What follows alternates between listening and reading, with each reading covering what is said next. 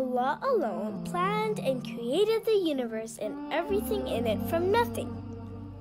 He created things we know of and things we do not know of. He subhanahu wa ta'ala has the power to create what he wishes, when he wishes, and how he wishes. Allah subhanahu wa ta'ala says, ربك يخلق ما يشاء ويختار And your Lord creates what he wills and chooses. As humans, we cannot originally create and make things from nothing.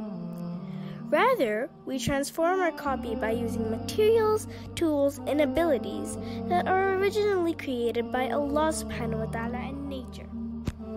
If you look closely, there are so many things that we have made by the original materials that are already present in this universe. Look at these giant airplanes. There are means of transport for us. Do you know humans came up with the idea of a plane by studying birds and how they fly in the air without any support? Humans made submarines by observing the movement of whales. Humans made umbrellas by observing trees and how they give shade from the sun. There are so many creations with different colors and shapes that we humans observe and copy by using the tools and skills created by Allah subhanahu wa ta'ala.